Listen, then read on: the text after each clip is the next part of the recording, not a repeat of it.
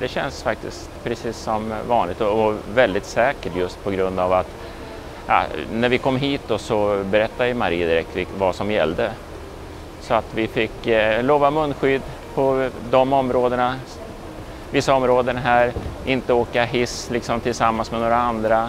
Det finns handsprit överallt.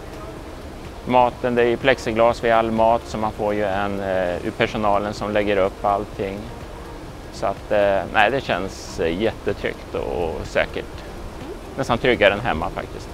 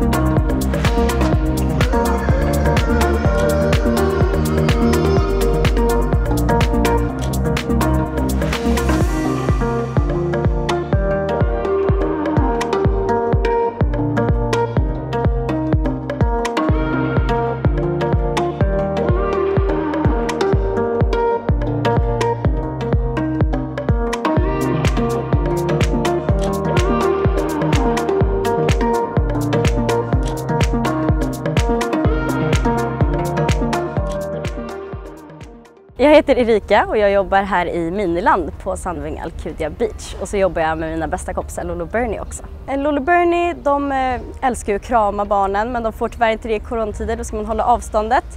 Så att eh, de får ge en sån här armbågs high five eller en fot high five istället och det funkar fint så barnen är glada att de får hälsa på Lollo Bernie.